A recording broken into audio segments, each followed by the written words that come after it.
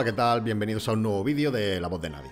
Estamos en el Congreso de los Diputados en el turno de preguntas al ministro de Justicia, Félix Bolaños. Nos vamos a centrar en las preguntas de Esther Muñoz, una diputada del PP con una lengua viperina y una crueldad dialéctica que deja a Tellado y a Álvarez de Toledo como voluntarios de la Cruz Roja. Esta diputada fue protegida de Isabel Carrasco, presidenta de la Diputación de León. La recordaréis porque fue asesinada de un tiro en la cabeza y dos en el cuerpo por Montserrat González, la esposa de un inspector jefe de la Policía Nacional, por tratar injustamente y no permitir el ascenso de su hija en la Diputación. Procede, como veis, de un entorno político un tanto oscuro. Veamos qué dice. Señor ministro, ¿qué tal está? ¿Se encuentra bien? Lo digo porque le veo serio, taciturno, y suele ser usted un ministro pizpireto.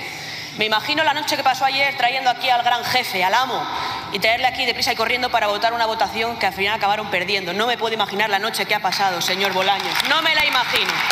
Sí, bueno, se refiere a la ley para regular el alquiler de temporada que presentó el gobierno y al que acudió para la votación el presidente del gobierno Pedro Sánchez, al que califica la diputada como el amo. La ley no salió adelante por los votos en contra del Partido Popular, de Vox y de Junts. La tipa trata de humillar haciendo gracietas con las formas de Miguel Tellado, pero le falta estilo. No todo el mundo puede ser Oscar Puente.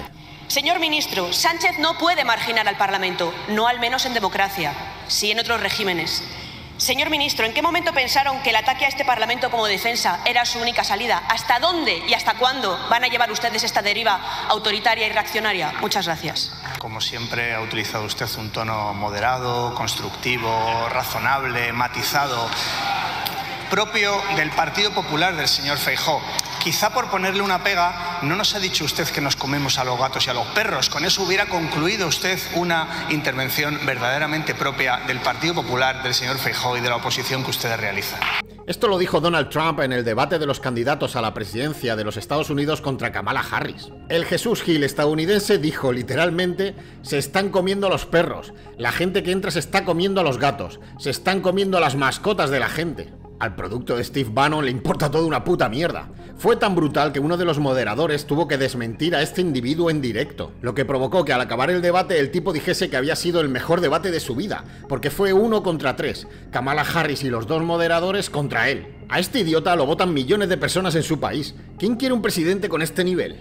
Es curioso que en su pregunta hable de esta Cámara y que diga que nosotros despreciamos a esta Cámara. Ustedes que todavía, después de un año, no han superado que esta Cámara, a la que ustedes, por cierto, denigran a los grupos parlamentarios, a los distintos diputados que han sido elegidos por los españoles como ustedes, pues bien, no han superado que esta Cámara haya elegido a Pedro Sánchez presidente del Gobierno. Y por cierto, lo elige una legislatura que dura cuatro años y cuando en su pregunta habla de bloqueo, yo sinceramente quiero poner en valor algunos acuerdos que hemos llegado en esta legislatura con ustedes para desbloquear algunos órganos constitucionales que estaban bloqueados.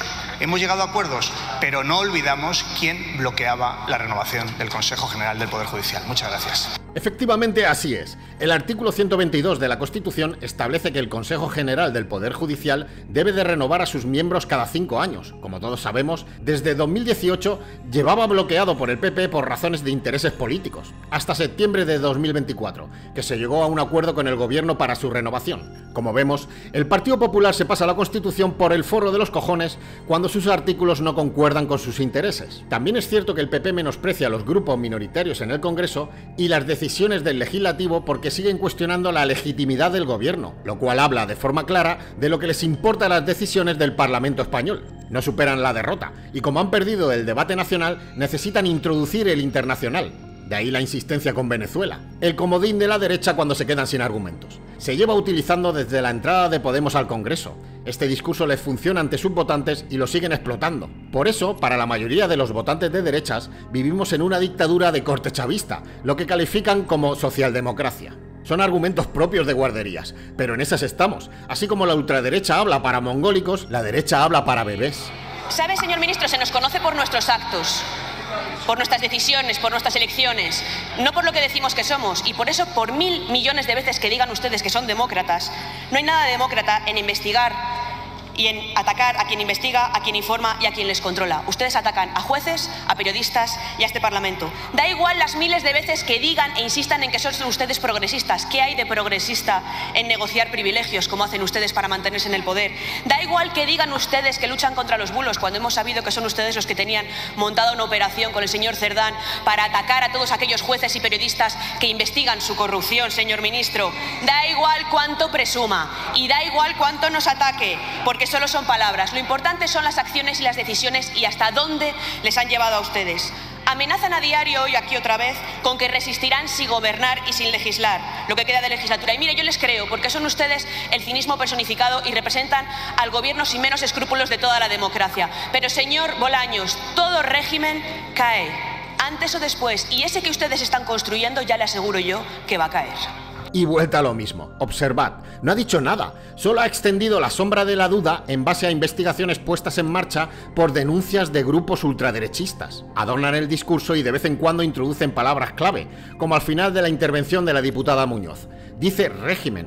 Todo régimen cae. Si analizamos el verdadero significado de la palabra, no se encuentra ningún problema. Un régimen político puede ser un régimen democrático, un régimen monárquico, un régimen aristocrático, pero en el imaginario colectivo, cuando se habla de régimen y más con los acontecimientos en Venezuela, todo el mundo lo relaciona con un régimen dictatorial, que es el sentido exacto que quería proyectar la diputada Muñoz. Como digo, es la estrategia política del PP y me parece muy bien, cada partido tiene su estrategia. Pero nunca hay que olvidar que el trabajo de los políticos es la retórica, el manejo de las palabras y el sentido de las mismas dependiendo de la necesidad que tengan. Esta diputada es una experta manejando el discurso. Se mueve como pez en el agua sin ningún tipo de pudor. No tiene escrúpulos, por lo que no le importa desacreditar, menospreciar, pisotear, sembrar dudas, mentir o tergiversar. Recordar a esta diputada, no tardará en alcanzar puestos más altos en el organigrama del partido.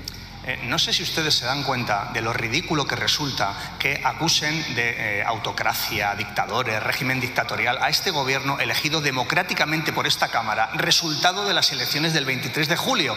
Esas elecciones que recordarán ustedes que estaban en el balcón de Génova y, y bailaban ustedes. ¿Se acuerdan que bailaban? Bueno, pues como consecuencia de aquellas elecciones se conformó este Parlamento y se eligió a Pedro Sánchez presidente del gobierno de España es que les da igual. Si convencen al suficiente número de personas de que esto es una dictadura chavista y de que es un gobierno ilegítimo, puede que obtengan los votos suficientes para gobernar en las próximas elecciones. Les importa una puta mierda las reglas del juego, las acatan, pero se las saltan con sus discursos, solo hay que escucharlos. Los mensajes políticos, como todos sabemos, calan de forma muy seria en la ciudadanía. Y si los partidos políticos machacan insistentemente en un determinado mensaje, pues se impregna en la población. Dicho esto, me pregunto, ¿a qué puede ser debido que la inmigración haya pasado de ser la novena preocupación de los españoles a la primera en tan solo cuatro meses? La última encuesta del CIS así lo determina. Te bombardean con estos asuntos a diario y llegas a esa conclusión. La realidad es que la inmigración no es un problema en España, es la política quien lo ha convertido en un problema. El asunto de Canarias es un problema de voluntad política, no de inmigración. El único problema que veo es la regulación de la inmigración, pero ni siquiera es grave, es solo de trámite burocrático. Por tanto, el discurso político es un arma muy poderosa. Por eso hay que prestar mucha atención a lo que dicen, a cómo lo dicen y en qué momento lo dicen. Cuando dice usted que por sus actos nos conocerán... Por favor, por favor, señores y señoras diputados. Señor ministro, un momento.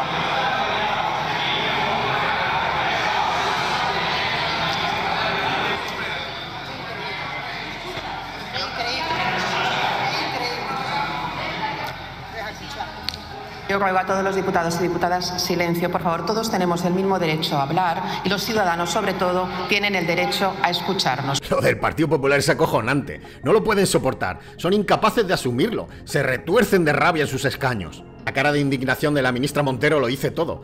Que habrán berreado desde la bancada del PP para que tuerza el gesto de esa forma. Los diputados que están presentes en el hemiciclo lo escuchan todo perfectamente. No sé lo que habrán gritado, pero me lo imagino. Muchas gracias, señor ministro, cuando usted quiera. Gracias, eh, señorías del Partido Popular. Igual ser demócrata es escuchar al que piensa diferente.